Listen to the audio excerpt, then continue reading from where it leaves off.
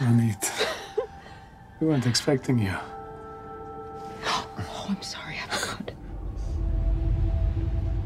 My father just died.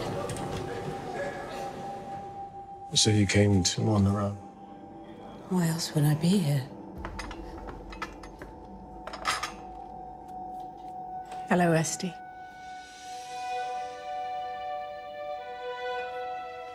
Your wife. She won't be distracted by Ronnie's return? We all have forgiven you, Ronnie, What for, Fruma? for everything. We never thought we'd see you again. Sorry to disappoint you. And you're not married. It's important that this week is conducted with honor. It's the most important thing. Honor.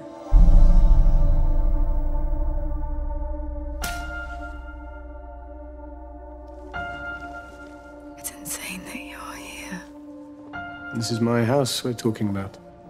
I keep it in order.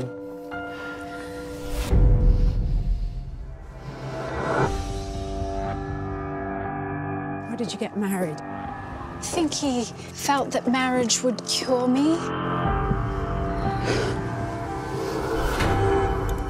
Ronit? Is that you? Esti, what's happened? Tell me the truth. We need to stop this. I think you should leave him. I'd do anything for you. Do you know that?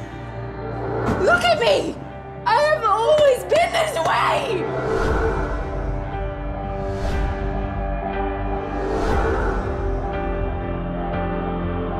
I want you to give me my freedom.